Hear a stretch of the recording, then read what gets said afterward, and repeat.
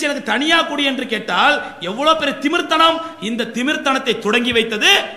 இலங்கையில் இருந்த கேடுகட்ட விடுதலை புலி தீவிரவாதிகள் இந்த விடுதலை புலி தீவிரவாதிகளால் தான் அங்குள்ள தமிழர்களுக்கே பாதிப்பு ஏற்பட ஆரம்பித்தது விடுதலை புலிகள் என்ற ஒரு தீவிரவாத இயக்கம் இலங்கையிலே உருவாவதற்கு முன்பு வரை இலங்கையில் உள்ள முஸ்லிம்களும் சரி இலங்கையில் உள்ள இந்துக்களும் சரி இலங்கை தமிழர்களும் சரி சிங்களர்களும் சரி அண்ணன் தம்பிகளை போன்று தான் வாழ்ந்து கொண்டிருந்தார்கள் சந்தோஷமாகத்தான் இருந்தார்கள் ஏனென்றால் நம்முடைய திருநெல்வேலி மாவட்ட போது மாவட்ட மாவட்டக்காரர் தெரியும் நம்முடைய தந்தை நம்முடைய பாட்டனார் எல்லாம் சிலோனில் இருந்தவர்கள் அவர்களை வரலாறுலாம் கேள்விப்பட்டிருப்போம் சிங்களவர்கள் எவ்வளவு நல்லவர்கள் எப்படி அப்பாடித்த அப்பாவித்தனமானவர்கள் எப்படியெல்லாம் தமிழர்களோடு அன்றி அண்ணன் தம்பிகளாக வாழ்வர்கள்லாம் கேள்விப்பட்டிருப்போம் அருமைக்குரியவர்களே அந்த நாட்டு மக்களுக்கு மத்தியில் போய் உட்கார்ந்து கொண்டு எங்களுக்கு தனி நாடு கொடு என்று கேட்டு அந்த மக்களே படுகொலை செய்து ஆயுதங்களை கையில் எடுத்து வெளிநாட்டு சக்திகளோடு ஏனென்றால் வேலுப்பிள்ளை பிரபாகர் என்பவன் இவன் கிறிஸ்தவ மதத்தை சார்ந்தவன் என்பதனால் மற்ற கிறிஸ்தவ நாட்டில் இருந்த தீவிர தீவிரவாத நாடுகளும் அந்த தீவிரவாத இயக்கத்திற்கு சில உதவிகள் செய்தன ஆயுத உதவிகள் செய்தன இந்த ஆயுத உதவிகளை இவன் பெற்றுக்கொண்டு அந்த நாட்டுக்குள்ளே உட்கார்ந்து கொண்டு பிழைப்பு தேடி போன இடத்திலே தோட்ட தொழிலுக்கு போன இடத்திலே உன்னுடைய நாட்டை தனி நாடாக தனி இடமாக பிரித்து கொடு என்று கேட்டால் எந்த நாட்டுக்காரன் கொடுப்பானது எந்த நாட்டுக்காரன் கொடுப்பான்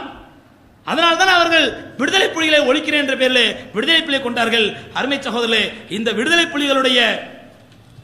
கொஞ்சம் இவருடைய பின்னணியை எடுத்து பார்ப்போமேனால் இவர்கள் பல்லாயிரக்கணக்கான அப்பாவி மக்களை கொண்டிருக்கிறார்கள் ஸ்ரீலங்காவிலே தமிழ்நாட்டில் கொண்டிருக்கிறார்கள் தமிழ்நாட்டில் பல்வேறு குண்டுவெடிப்பில் நடந்திருக்கிறார் விடுதலை புலிகளால் சென்னை விமான நிலையம் குண்டுவெடிப்பாக இருக்கட்டும் அல்லது முன்னாள் பிரதமர் ராஜீவ்காந்தி குண்டுவெடிப்பாக இருக்கட்டும் இன்னும் பல்வேறு விதமான குண்டுவெடிப்புகள் இதே விடுதலை புலிகளால் தீவிரவாசிகள் தமிழ்நாட்டில் அரங்கேற்றப்பட்டிருக்கின்றன இதை விட பன்மடங்கு அதிகமாக இலங்கையில் நடைபெற்றிருக்கிறது அந்த இலங்கையில் நடைபெற்ற பல்லாயிரக்கணக்கான மக்கள் கொஞ்சம் கொஞ்சமாக கொஞ்சம் கொஞ்சமாக கொல்லப்பட்டிருக்கிறார்கள் அதிலே நடந்த மிகப்பெரிய படுகொலை என்ன தெரியுமா மிகப்பெரிய படுகொலை அருமை சகோதரர்களே ஆயிரத்தி தொள்ளாயிரத்தி தொண்ணூறாம் ஆண்டு